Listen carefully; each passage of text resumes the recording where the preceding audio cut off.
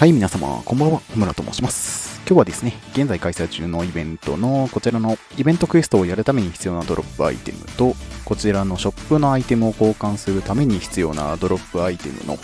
おすすめ周回場所についてお話をしていこうと思います。まずは、イベントクエストをやるために必要なこちらのドロップアイテムの私が周回してきた結果がこちらになります。いつも通り見ていただく部分としては、右側の特攻数別のドロップ数のところを見ていただければと思います。まずは AP 効率からですけれども、特攻数が0と5の場合は、魔法少女ストーリーの3話ですね。特攻数がプラス10からプラス20までは、アナザーストーリーの4の1の1。特攻数がプラス25以上の場合は、メインストーリーのノーマルの3の7の5を周回するのをおすすめいたします。次に時間効率がいい場所は覚醒強化クエストの中級ですね。それと経験値効率がいい場所は